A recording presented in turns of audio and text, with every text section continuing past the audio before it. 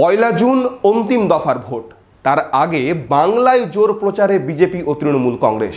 সেই প্রচারের মাঝেই ফের প্রদেশ কংগ্রেস সভাপতি অধীর রঞ্জন চৌধুরীর মুখে ইলেকটোরাল বন্ডের কথা।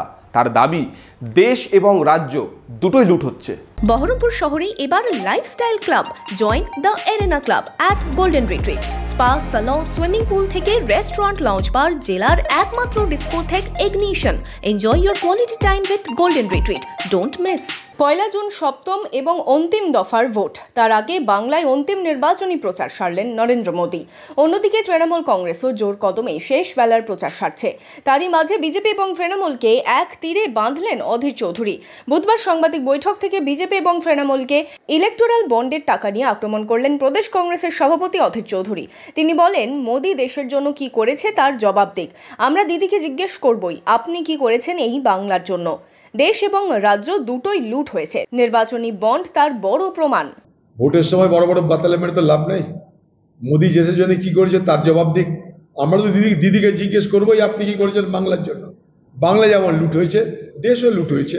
নির্বাচনী বন্ড তার সব থেকে বড় প্রমাণ। নির্বাচনী তহবিলে এ ভারতবর্ষের যে সমস্ত অসাধু বিজনেসম্যানরা তারা সরকারি খাজানাকে যারা লুট করেছে, তারা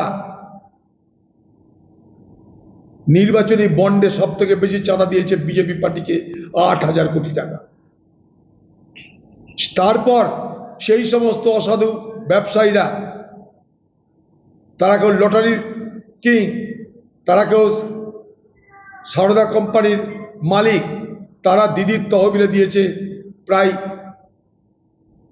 কয়েকশো কোটি টাকা। তার মধ্যে লটারি কিং ম্যাড্রাসের সে দিয়েছে ছশো কোটি।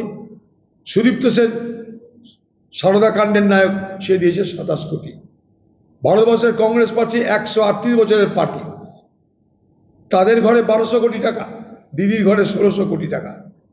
আর মোদির তো স নিয়ে কথা বলে না, হাজার হাজার কোটি টাকা নিয়ে কথা বলে। তাই স্বাভাবিকভাবেই যারা বড় বড় স্বচ্ছতার কথা বলে, যারা সততার কথা বলে, তাদেরকে বলব নির্বাচনী বন্ডের টাকাটা কীভাবে এলো এই নির্বাচনী বন্ড আদায় করতে গিয়ে এদেশের সম্পদের চার লক্ষ কোটি টাকা আমাদের লস হয়েছে।